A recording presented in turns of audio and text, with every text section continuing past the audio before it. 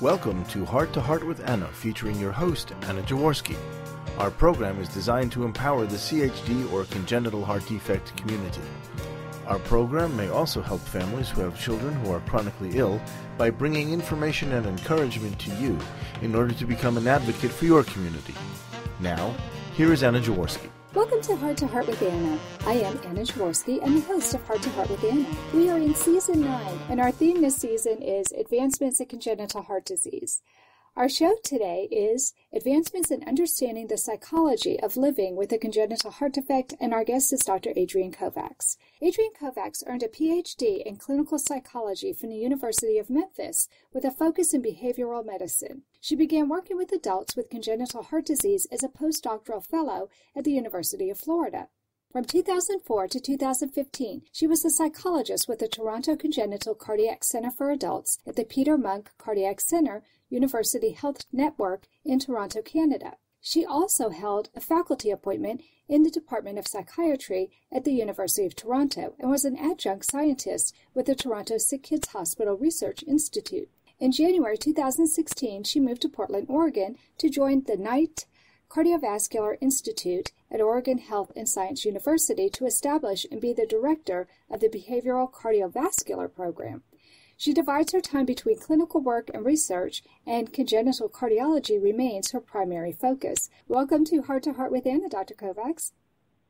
Thanks so much, Anna. I've listened to some of your other shows, and it really is an honor to be speaking with you today. I think you provide such a valuable service to the congenital heart disease community. Oh, well, thank you so much for saying that. Well, I'm so happy that you had a chance to listen to some of the shows, and it was fun talking with you before we actually came on air to find out that Agreed. we both know Tracy Levecki, and she's one of my favorites. so it's always fun to see the people that we have in common. Exactly. I am so excited about today's topic because this is something I'm afraid we really don't talk enough about. And I really want us to put a spotlight on this topic. So it seems like 20 or 30 years ago, there wasn't even much consideration at all given to the psychology of living with a chronic illness. And also, 20 to 30 years ago, to be quite honest with you, not many children survived to adulthood. So, can you tell us what it was like for children and adult survivors with congenital heart defects 20 or 30 years ago?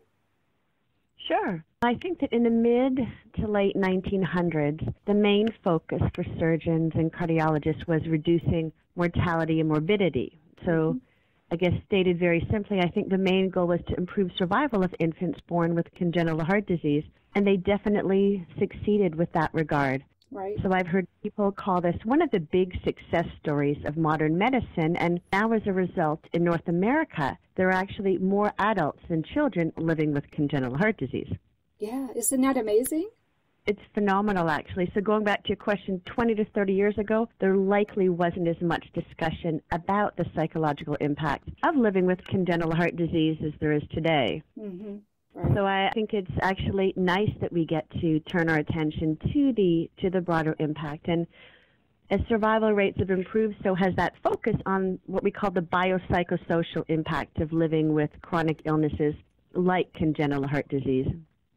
And that term biopsychosocial goes back to the late 1970s and really describes that relationship between phys- physical functioning, emotional well being, and social well being. Uh, the really interesting thing, though, is I, in preparing for this show, I looked back and there are actually papers dating back to the late 1950s that do talk about the psychological aspects of congenital heart disease. Wow. Although I admit, I yeah, I, I wasn't so familiar with those, and I haven't read them because they're tricky to access. But I thought what this tells us is even going back decades, there were people who recognized this. Mm-hmm.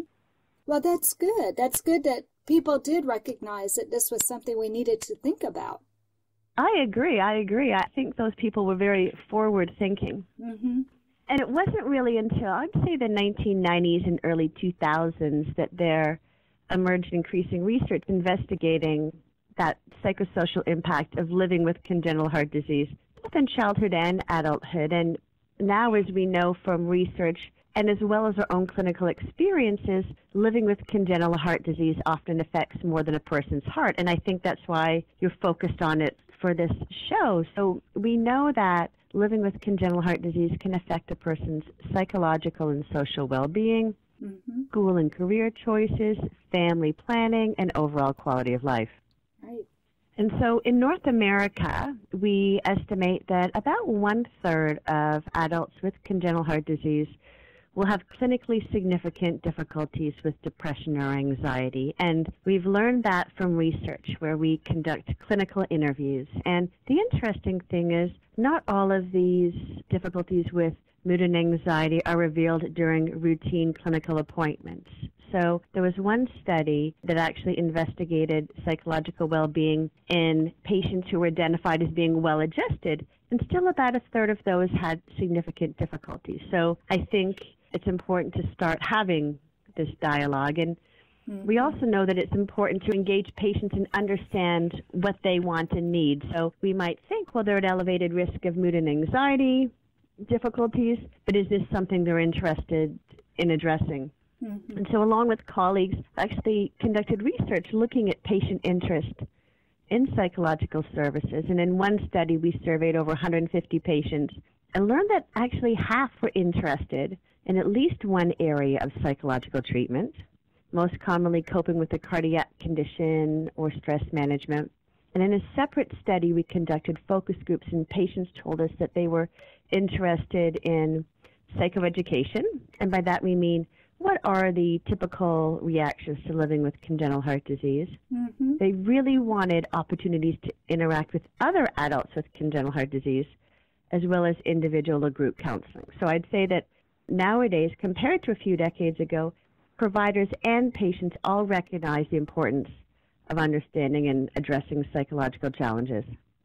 Oh, I just love that answer because I think there has been a lot of growth on the part of the patients themselves as well. I think patients yes. nowadays are much better consumers and they understand the processes involved better, don't you? I couldn't agree more. I think that when I think of psychology in heart disease, any kind of cardiovascular disease, I think we're a few decades behind oncology. And the mm-hmm. most large cancer programs automatically include psychosocial oncology, so mental health professionals. And I think cardiology historically has been a little far behind. And I think nowadays we're seeing that patients and families are beginning to advocate for resources also. Yeah, I so love it's that. Been, I, I think it's been a really strong patient movement. And I guess mm-hmm. I guess the other thing I'd want to say is although we're talking about this, I don't want to come across as all gloom and doom. So we know that adults with congenital heart disease are at elevated risk of mood and anxiety disorders. However, I'd also want to emphasize that as a group, their resilience inspires me every day. So from birth, they face a unique set of challenges. And when I meet somebody with congenital heart disease for the first time, I always ask what helps them cope with these unique challenges, and patients regularly inspire me in their ability to focus on what is most important in life.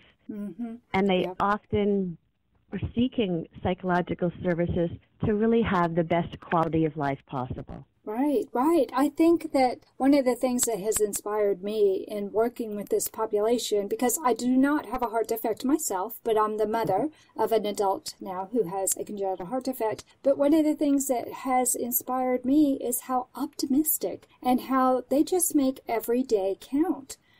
And I wonder in some ways if being born with a congenital heart defect or having a child with a congenital heart defect might not improve your quality of life just because you do realize how precious each and every day is.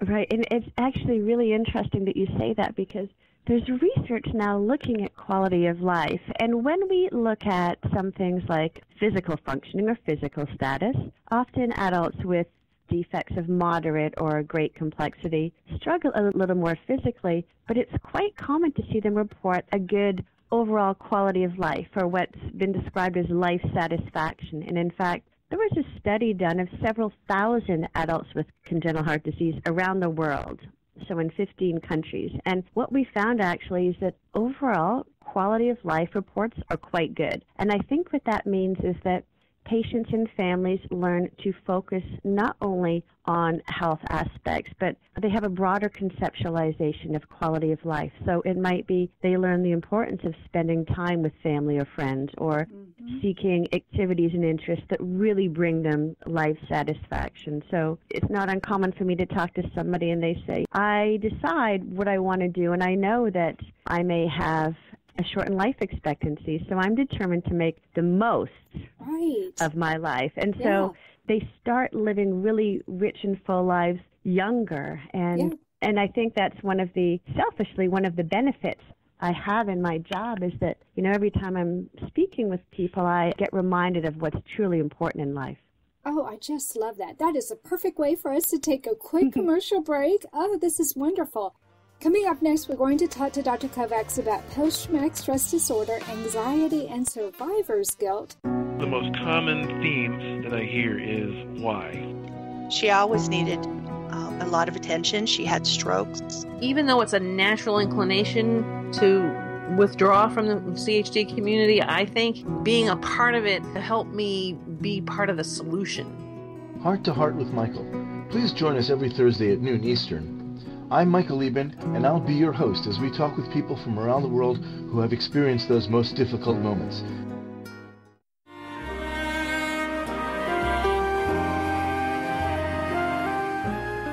Home Tonight Forever by the Baby Blue Sound Collective.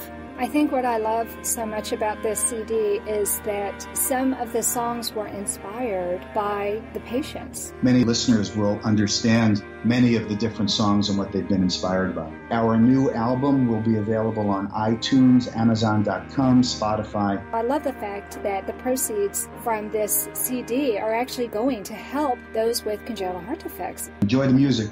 Home Tonight Forever.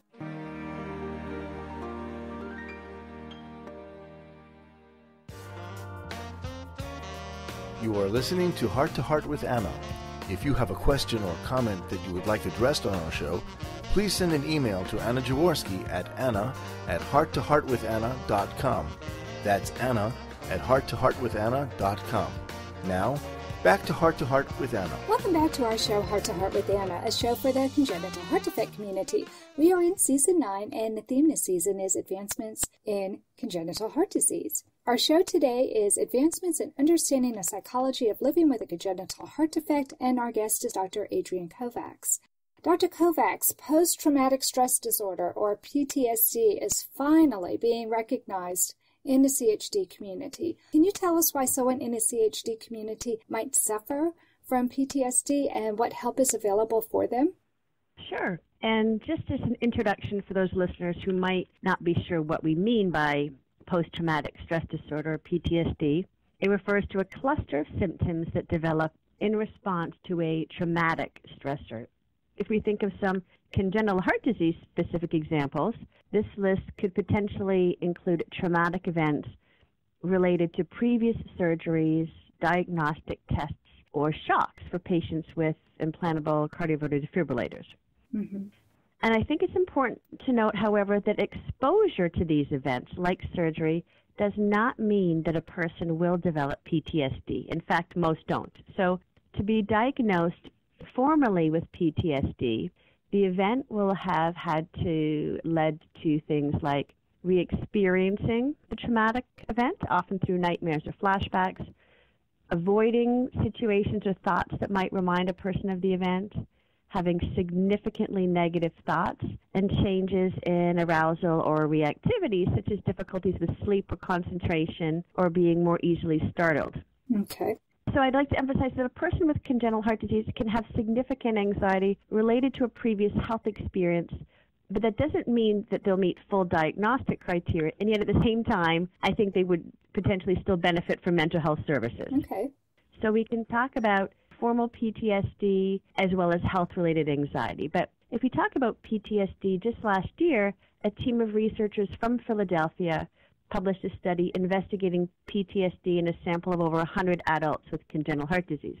And in the spirit of full disclosure, I did have the privilege of being part of this research team. Okay.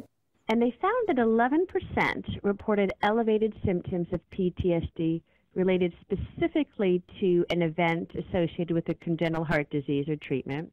But then about double that, 21% met criteria for overall PTSD symptoms. And that means that our patients can experience trauma that might be related or unrelated to congenital heart disease. Hmm. And these rates are higher than those observed in the general population. So we know that we can say that our adults with congenital heart disease do seem at greater risk of PTSD. Right. And in addition, from this study, we learned that symptoms of PTSD were also associated with symptoms of depression. Ah. So clearly, there is a need to identify and treat PTSD in our adults with congenital heart disease. Doesn't that just make sense given the severity of what they're facing? I mean, let's face it, a lot of our adults and the parents and grandparents and everybody associated with that disease process, they're facing mortality, and that's a scary thing to have to face. I agree. I think that we can talk about health related anxiety and whether it's PTSD due to past events or anxiety regarding upcoming health challenges. I think it all warrants attention and acknowledgement from health professionals also. So, which I guess brings me to the second part of your question what help is available? Mm-hmm. To these individuals facing PTSD or significant anxiety? And I guess the answer is that it really varies center by center or program by program. And so there are a few adult congenital heart disease programs, like mine, that have decided to integrate psychological services within the program. Others have linked with psychologists, psychiatrists, clinical social workers, or counselors within their hospital or community. However, this is an emerging area, and so I think that its care is certainly not developed where we'd like it to be. Okay. Well, and I think that it's because it's emerging. Like you said, we're finally really starting to recognize the need. Yes. And what I loved about having Dr. Wernovsky on the program a couple weeks ago was that he talked about creating a roadmap for success. Mm. And this is part of the roadmap is to have the psychological team as part of the team. Right now, it seems Mm-hmm. like, or for the last 20 years anyway, it seems like most of the team was focused on the cardiothoracic surgeon, the pediatric cardiologist, the pediatrician. And then as people aged, some of them were lost to follow up care. Well, now we're seeing the importance of maintaining that care, that this is a chronic condition, but it doesn't seem like we've pulled in more team members. And I think what Dr. Wernovsky is suggesting is let's establish a good team at the very beginning of integrated professionals, and certainly a psychosocial team would be part of that roadmap. Mm-hmm. I think that I listened to his show and I thought he did a great job of outlining the plan. I think that where we are now is we're trying to move from the guidelines and recommendations to the implementation. Right. So I think that anxiety, more broadly, I guess the psychological impact of living with congenital heart disease is on the radar of both patients and healthcare teams. So Mm-hmm. I mentioned earlier that patients themselves have identified psychosocial care as a priority and are starting to advocate for their needs. In addition, there are patient advocacy organizations like the Adult Congenital Heart Association, Right. and they provide online education, have peer support programs, and host national conferences, Mm-hmm. and all of which include a focus on neurocognitive and psychological needs of adults with congenital heart disease. And although we certainly aren't at a place yet where all patients with congenital heart disease have access to psychological services, I'm hopeful that the situation will improve at national and international conferences, for example, focused on pediatric cardiology. There are now routinely sessions focused on the psychosocial needs of patients and families. Yes. In fact, I would actually say this is quite a hot topic Yeah. and a priority for the American College of Cardiology. And here's another example I can think of. The Congenital Heart Public Health Consortium was formed a few years ago by a number of organizations, including American Academy of Pediatrics, American Heart Association, American College of Cardiology, the CDC. And a major focus of this consortium is lifelong care, and there's a specific committee focused on cardiac, neurodevelopmental, and psychosocial quality of life. So I think we are all hoping for a change. The challenge is to figure out how to implement this in the healthcare setting. Right. I think it's a difficult thing to implement because you're talking about so many different people being involved in a team. And that's going to increase the cost, of course. And so then you have insurance issues. So I'm wondering, here in the United States, it's a big deal because we don't have consistent insurance and health care mm-hmm. state to state, even hospital to hospital in the same city. You can see variances. Yeah. Have there been studies done that you know of in other countries where they have socialized medicine where this isn't the same issue?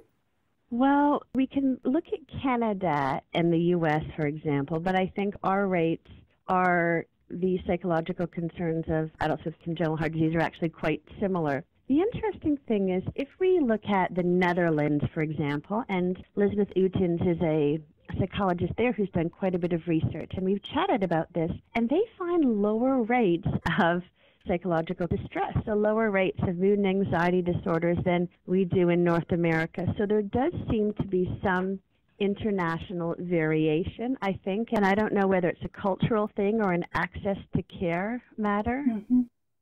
I do think that it is challenging for people to access specialized psychology or mental health care as well. So sometimes people will have insurance coverage that will provide access to mental health services, but those people may not have any experience working with people with congenital heart disease or even cardiovascular disease in general. Right. So it can be tricky sometimes within the community to find somebody with health psychology experience. Well, don't you think, too, though, if you're comparing Canada and North America as a whole to, say, the Netherlands, Mm-hmm. Geographically, it's a much smaller place. And so I think the concentration of care is very different than when you're looking at Canada, where things are spread really far apart. And you can have somebody who lives in a major city, such as Toronto, and the care that they receive is going to be totally different than somebody who lives way out in a country where Toronto is a two hour car ride for them. Oh, exactly. And we had patients that lived so far away they had to fly in for their annual appointments. Oh, wow. Or if it was a drive, it might be 10 years. It's a very spread out and large geographic region. So it's it's about having access to mental health care, and then it's about mental health professionals being in your community. So a lot of people who live in smaller towns and more rural areas just don't have access to anybody right. there. Right. So I think that's why I do think that programs like the Adult Congenital Heart Association has a peer support program, and I think that a lot of people are turning online for some of that support nowadays. I think they are too, and I think it's terrific that we have that available, and it, there's that recognition. I also think it's great that we're talking about this, Dr. Kovacs, mm-hmm. because it reduces mm-hmm. some of the stigma attached to it. I know there are some people who don't want to even acknowledge that they have a problem because they don't want to appear weak. They don't want to appear that they're not quote unquote coping or handling it. And that's not what it's about. And I think the more we talk about it, the more people mm-hmm. will see it's okay to feel frightened. It's okay not to like needles. Some of the mm-hmm. anxiety invoking situations that our patients are having to go through, it's normal. I would think it oh. would almost be strange if you weren't anxious about some of those things. That's exactly. You could be a psychologist because that's that's exactly. You know, I do I do a lot of we call it normalizing. So you know, when people come in and they describe some of these health challenges they faced in the past or have in front of them and they talk about feeling down and depressed scared or anxious, I let them know that it's completely understandable. And in fact, mm-hmm. that I'd be surprised if they weren't having any kind of emotional reaction. Right. And so I think that reassurance goes a long way.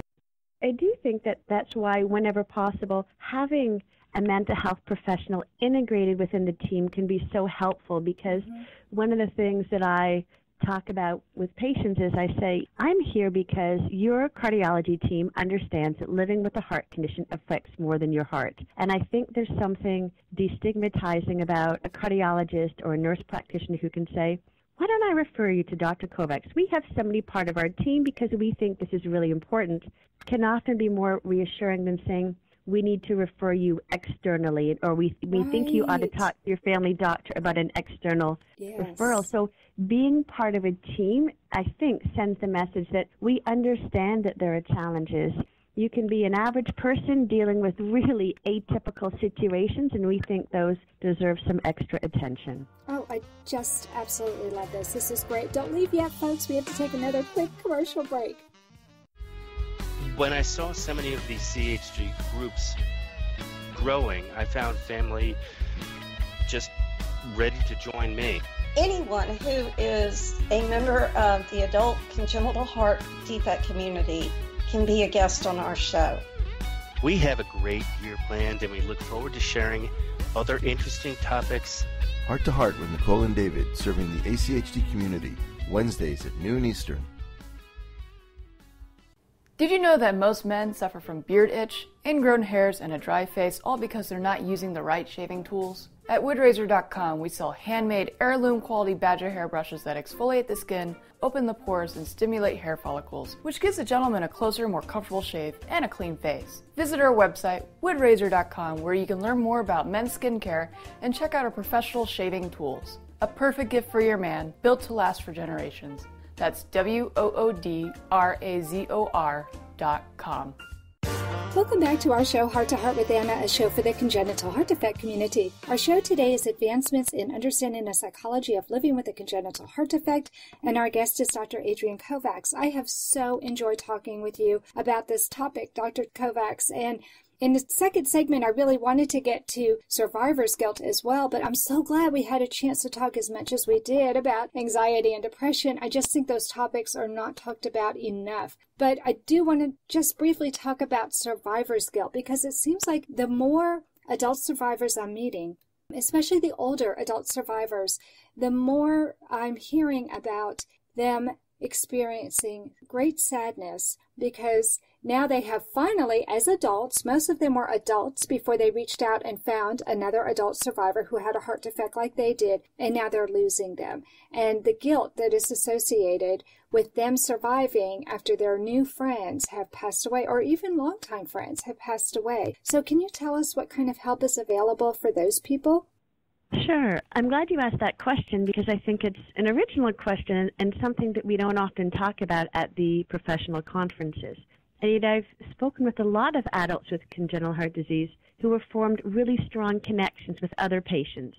They may be hospitalized at the same time. They mm-hmm. may be waiting for transplant, for example, at the same time. They may right. be recovering from surgery. And they've been really understandably upset at another person's death. And I go back to that because it's not surprising that we would feel upset upon the death of somebody who we were close to. Sure. I've also spoken with another example is healthy siblings who express anxiety and guilt because they're healthy while their sibling is not. Yes. So that's just another example of I would say that survivor's guilt. I actually think that survivor's guilt and a sense of grief and distress upon the death of another person with congenital heart disease might be more common in the current age of social media. So things are different again than they were 20 years ago. Right. Because now people have that ability to form really strong bonds with people with congenital heart disease, not only at their own town or city or program, mm-hmm. but also around the country. Sure and they're developing these connections with people that they may never meet in person and details of their lives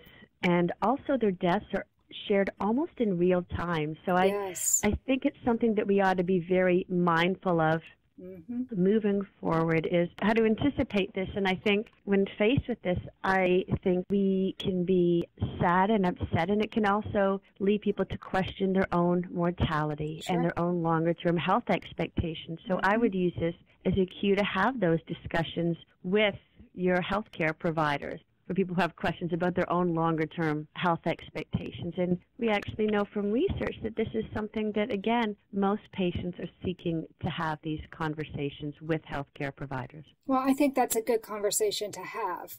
But my question would be do you think that most healthcare providers, meaning cardiologists, Mm-hmm. would recognize that maybe this is something that they would need to see a counselor for?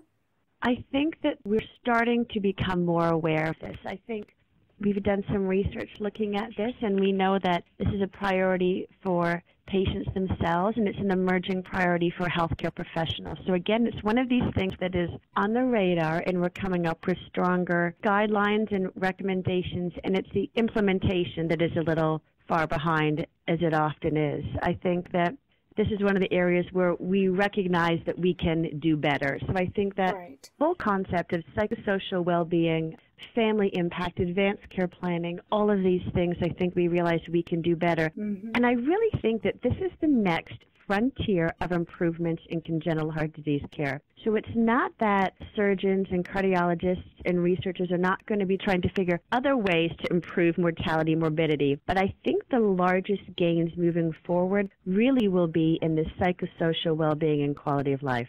Oh, I love that. I agree with you 100%. percent mm hmm I think so too, because we have finally moved from just having the people survive. Yes. That was such a huge hurdle to get over. And now that we are over that, it's like Maslow's hierarchy of needs. Yes. you know, yes survival yes, is number yes. one. mm-hmm, mm-hmm. And we certainly want to help people live longer and have fewer cardiac symptoms. But at the same time, this is, I think, our next opportunity to do well by these patients. So, as a broad field of providers taking care of people with congenital heart disease, I think our collective responsibility goes beyond saving and extending their lives. And I think we ought to help people live as rich and full lives as possible. Inside the heart world and outside. In an ideal world, isn't this something that we would be talking to everybody about? Yes, uh, yes. I I like that plan, Anna. well, I think that having my son Alexander did heighten my awareness of how important every day was. And I'm lucky. He's 22. He has come back home to live, and I'm thrilled about it. Mm-hmm. And we're experiencing wonderful things together and as a family. And we do things differently than what my parents did with me. And I think part of that is because he has had this chronic condition we don't let opportunities pass without trying to seize the day. And I did a whole mm-hmm. season on seizing the day. And I've seen this as a common theme with a lot of survivors is that they mm-hmm. recognize how important every day is. Of course, we're sharing that with our heart healthy son too. And I think this mm-hmm. would be, it would behoove the entire world to just realize how important every day is and that the quality of life that you have is not dependent necessarily on the job you have, but on how much satisfaction you have in every day that you live. Oh, I couldn't agree more. That's very well said. Well, thank you. I've had a lot of time to think about it. 22 years, right? yes, 22 years. And you know what? It just gets better and better. And part of it, I'm sure, is the fact that I am doing this podcast. I am in touch with a lot of people. I find the congenital heart defect community to be a very optimistic one. Not that we don't suffer from grief. I mean, we all mourn when we lose somebody. And you're right, social media has changed the face of congenital heart defects. 22 years ago, the internet was in its infancy. We had listservs where we wrote notes back and forth to each other. Today, people are sharing videos. We see photographs, and you're right, in real time. Mm-hmm. It's totally different. It makes your relationship with people much more intense. Mm-hmm. And so when you grieve, to me, I feel that it's a very intense grieving. Maybe not more so because when I was dealing with an infant and I was talking with a lot of parents who also had infants and young children and we lost them. It was devastating. And part of the devastation was that we were so far apart, we regretted the fact that we weren't able to be closer. Mm-hmm. So every situation yeah. has its pluses and minuses, but yes. I do agree with you that the psychosocial aspect of living with a congenital heart defect is the new frontier, and I'm excited to see that the professionals are paying heed to this. You told me during a commercial break how special your hospital is for what it is they do. Can you tell us a little bit more about this? And can you tell us if you see this as a trend in other big hospitals across the United States and maybe across the world? Well, I like to think we're beginning a trend. I was recruited here with the opportunity to build a behavioral cardiovascular program. So to build a program that would grow to meet the needs of all cardiovascular patients, whether they had congenital heart disease or acquired heart disease, although my personal focus remains congenital, mm-hmm. congenital cardiology. And I think that one of the real keys will be having leadership that recognizes again that having a heart condition doesn't only affect a person's heart, it can affect them in a lot of different ways. Right and are willing to invest some resources mm-hmm.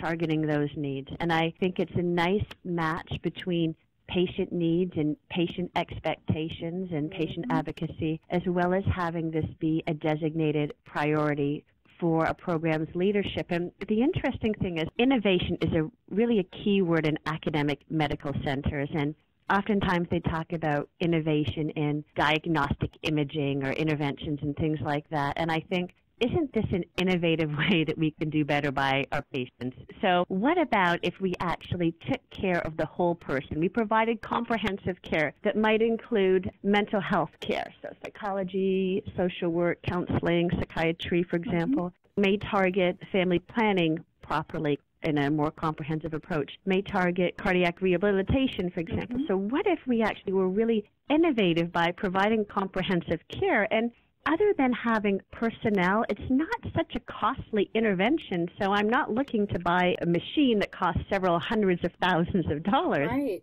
This is something that we provide just by having that personal connection to our patients. So I think that we're trying to build something that we hope can be replicated by other centers. And I think mm-hmm. One of the unique things is we're looking at research, but also really providing that clinical care. We hope that other programs will continue to implement this model, and I have been seeing other programs around the country expand their focus. So we really hope it's something that will continue to build everywhere. Well, I love it. That's a perfect note for us to end on. This has gone by way too fast. Thank you so much for coming on the program today. Oh, thank you, Anna. Oh, I have just loved Thank you it. very much. Well, I hope you'll come back because you clearly have a lot that you can share with us. And I told you during the break, I'm planning on devoting a whole season just to the biopsychosocial development and needs of the congenital heart defect community. So I hope I can count on you to come back. I'd love to return. Thank you, Anna. Well, thank you. And that does conclude this episode of Heart to Heart with Anna. Thanks for listening today. Please find and follow us on iTunes. And remember, my friends, you are not alone. Thank you again for joining us this week. We hope you have been inspired and empowered to become an advocate for the congenital heart defect community. Heart to Heart with Anna, with your host Anna Jaworski, can be heard every Tuesday at 12 noon Eastern Time.